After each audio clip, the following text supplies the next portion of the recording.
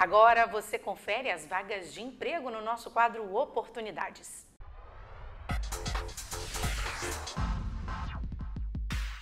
O Cine de Anchieta está com 23 vagas de emprego disponíveis nas seguintes funções: auxiliar de contabilidade, auxiliar de cozinha, auxiliar de manutenção, auxiliar de pessoal, auxiliar de produção, caldeireiro, churrasqueiro, eletricista predial, mecânico, pedreiro de acabamento, pintor predial, pizzaiolo, técnico de eletrotécnica, torneiro mecânico e vendedor interno.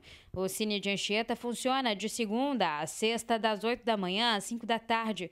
É preciso levar currículo atualizado com foto, além do número do PIS, RG, CPF, comprovante de residência, carteira de trabalho e cartão da família.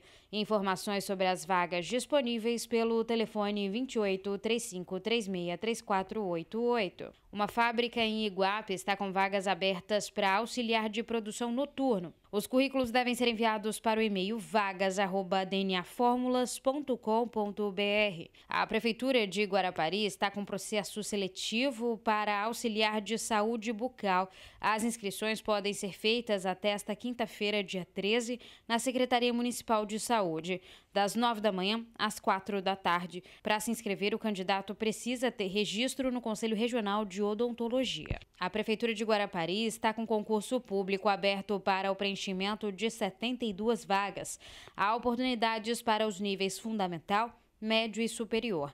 Os interessados podem se inscrever até o dia 18 de maio pelo site www.institutoconsulplan.com www.qualificar.org.br. O programa Qualificar ES está oferecendo 10 mil vagas em cursos online gratuitos.